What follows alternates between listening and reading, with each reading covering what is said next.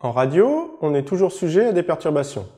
Pour donner un ordre de grandeur, 10-6 correspond à un taux d'erreur bit considéré comme correct en radio. Si on y regarde d'un peu plus près, ça fait quand même une erreur par seconde si on transmet à 1 mégabit par seconde et 70 erreurs par seconde si on transmet à 70 mégabits par seconde. On a déjà vu que la couche physique met en œuvre un premier niveau de fiabilisation basé sur l'utilisation des codes correcteurs d'erreurs. Mais ça ne permet pas de corriger toutes les erreurs. Dans cette leçon, on va voir un mécanisme géré par la couche située juste au-dessus de la couche physique qui s'appelle la couche MAC, qui signifie Media Access Control. La couche MAC utilise quant à elle des codes détecteurs d'erreurs qui permettent de détecter si les données reçues sont correctes. Il s'agit de codes de type CRC qui sont calculés sur les données à l'émission. Le récepteur réalise le même calcul et s'il ne trouve pas la même valeur, il en déduit qu'il y a une erreur. Comment l'émetteur peut-il être informé qu'il y a eu une erreur? Eh bien, le récepteur va lui envoyer un message de confirmation, c'est ce qu'on appelle un acquittement. Au passage, on peut signaler que cet acquittement va être transmis sur les canaux de contrôle dont on a parlé dans la vidéo précédente.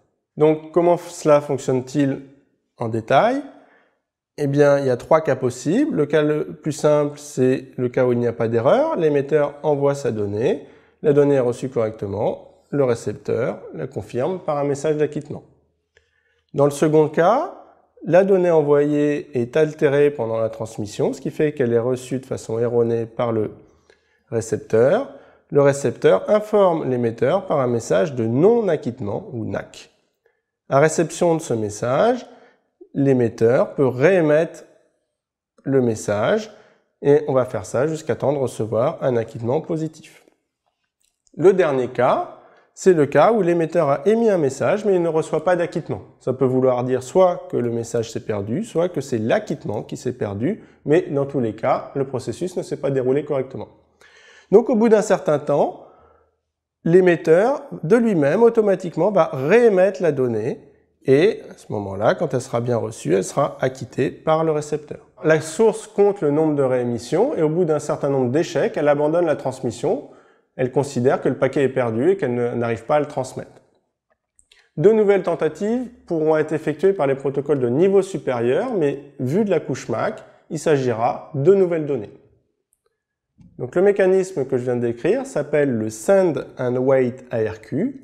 Send and Wait parce que l'émetteur envoie les données puis attend la réponse.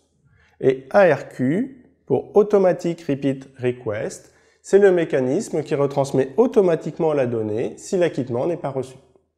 Comment cela fonctionne-t-il en, LTE eh On va s'intéresser au timing des acquittements.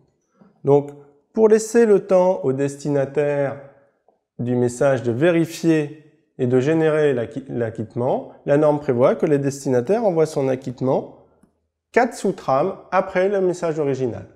De même, à réception de l'acquittement, l'émetteur a quatre sous-trames pour réagir, donc soit répéter son message, soit envoyer un nouveau message puisque le premier s'est bien déroulé. Le cycle total dure donc 8 sous-trames, c'est-à-dire 8 millisecondes. Et pendant ce temps, eh bien, l'émetteur ne transmet plus rien. C'est le principe du send and wait. Donc pour optimiser ça, LTE va en fait instancier 8 processus de send and wait en parallèle. Donc pendant que le premier processus est bloqué en attente de son acquittement, un autre processus va pouvoir transmettre une donnée, se bloquer, et ainsi de suite, jusqu'à avoir 8 processus qui vont exploiter l'ensemble des ressources disponibles. C'est ce qu'on appelle du send and wait parallélisé. Le défaut du send and wait parallélisé, c'est que ça peut engendrer des déséquencements. On va le voir dans cet exemple-là. Ici, le bloc 1 a été reçu correctement, mais le bloc 2 s'est perdu. Et puis le bloc 3 et le bloc 4 sont également reçus correctement. Donc comme le bloc 2 s'est perdu, 8 sous-trames après sa première émission, il va être émis et va être délivré ici. Donc finalement, la séquence reçue, ce sera bloc 1, bloc 3, bloc 4 et bloc 2. Et c'est ça que va délivrer la couche MAC au niveau supérieur la couche MAC ne peut pas gérer ces déséquencements. Elle laisse le soin aux couches de niveau supérieur de gérer ce problème-là. On verra que c'est la couche RLC, qui est immédiatement au-dessus de la couche MAC, qui traite ce problème-là. On le verra dans une prochaine leçon. En fait, LTE utilise une version un peu plus évoluée d'ARQ qui s'appelle HARQ. C'est pas très important de comprendre le fonctionnement. En revanche, c'est bien de connaître le sigle HARQ car ce terme est très utilisé dans la littérature. On va quand même dire un petit mot de ce principe-là. Donc, pour augmenter les capacités de correction d'erreurs, le récepteur conserve en mémoire tous les messages erronés qu'il a reçus précédemment. Cette accumulation d'informations augmente d'une certaine façon la redondance et donc les chances de reconstituer correctement la donnée transmise. D'autant que pour améliorer encore cette diversité, l'émetteur s'arrange pour changer la séquence de codage à chaque réémission. HARQ signifie hybride ARQ, hybride car la couche MAC collabore avec la couche physique pour l'informer si les données à transmettre sont nouvelles ou si ce sont des répétitions. Comme ça, la couche physique sait quel paramétrage de correction d'erreur elle doit utiliser. Avant de commencer sur cette diapo, je vais faire un petit point de vocabulaire. D'une manière générale, dans le modèle en couche des réseaux, les données qui sont reçues par une couche s'appellent des SDU, ce qui signifie Service Data Unit, et les données qui sortent de cette couche s'appellent des PDU, ce qui signifie Protocol Data Unit. Dans notre, couche dans notre cas, la couche MAC reçoit des MAC SDU et elle produit des MAC PDU qu'elle délivre à la couche physique. Maintenant que ce point de vocabulaire a été expliqué, je vais vous expliquer la fonction de multiplexage de la couche MAC. Les données à traiter par la couche MAC sont fournies par la couche de niveau supérieur qui s'appelle RLC.